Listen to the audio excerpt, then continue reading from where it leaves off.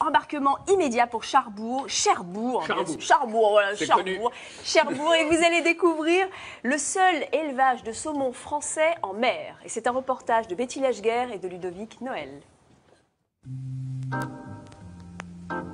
Cherbourg est surtout réputée pour ses fortifications et sa rade, la plus grande d'Europe. Mais la ville détient d'autres trésors. Ici se trouve la seule ferme de France où l'on élève des saumons.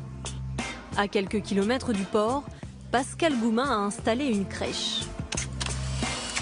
C'est là que les œufs d'élevage venus de Norvège et d'Écosse vont grandir dans de l'eau douce. Nous sommes ici dans notre écloserie, là où nous produisons donc l'intégralité de nos alevins de saumon, avec euh, donc deux variétés qui sont le saumon de France premium classique et le saumon sous chadour. Ils vont passer un an ici avant de débuter leur cycle d'élevage dans la Manche. Et c'est ensuite à l'ombre de la digue et des fortifications qu'on les retrouve. Des milliers de saumons frétillent dans ces champs installés en pleine mer. Là, c'est là on va commencer les- à les récolter à partir de quand? Pascal Goumin a lancé cette activité en 1997. Installation unique en son genre, la ferme aquacole produit entre 400 et 700 tonnes de poissons par an. C'est en fait un élevage artisanal, même si euh, ça peut paraître grand. Euh, il faut savoir qu'ici, avec une autorisation de produire 3000 tonnes, on représente une toute petite ferme par rapport aux élevages industriels qu'on a en Norvège et en Écosse. Dans cet enclos de 15 hectares, été comme hiver, ils sont comme des poissons dans l'eau. Face aux critiques faites à la filière, l'entreprise contrôle l'alimentation de ses carnassiers. Ils sont nourris aux huiles et farines de poissons issues de la pêche durable et aux protéines végétales, le tout sans OGM. Nous avons ici, euh, chez Saumon de France, un cahier des charges qui est supérieur aux contraintes des labels rouges et du bio et qui intègre, euh, alors que ce n'est pas encore une obligation légale, qui intègre ces problématiques de bien-être animal. On considère que euh, l'aquaculture, elle doit être durable, responsable et respecter le bien-être animal. Chaque jour, 10 tonnes de poissons sont pêchés, mais seulement ceux faisant plus de 2 kilos. Les plus petits repartent en travers des grilles pour poursuivre leur croissance. Ils finissent leur cycle d'élevage au bout de 3 ans environ. Donc voilà un, poisson typique de notre production. Donc un saumon qui fait dans les 4-5 kilos. Alors vous voyez la, qualité des nageoires. On a vraiment l'impression d'avoir un poisson sauvage et non pas un poisson d'élevage.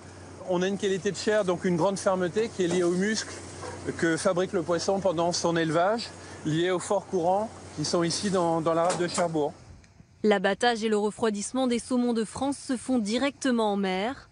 Autre particularité, ici les vaccinations sont supprimées, de façon à ce que le cheptel ne contienne aucun antibiotique ni pesticide.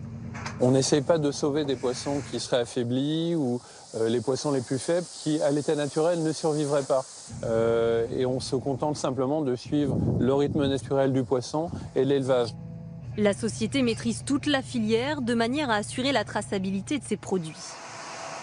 Prochaine étape, la transformation dans une usine à quelques kilomètres de la ferme. Donc le poisson pêché à midi est conditionné à 14h et est prêt à partir en expédition à 16h. Il sera livré donc à Rungis cette nuit. Résultat, un prix saveur de l'année 2010, décerné après une dégustation à l'aveugle. Le produit a donc de quoi séduire les chefs de cuisine, comme Sylvain Macaire. Patron du Café de Paris, il a fait de ce saumon une de ses spécialités. La particularité, c'est que c'est un saumon qui est, qui est pas très gras, quoi. Et qui a, qui a vraiment un bon goût d'iode.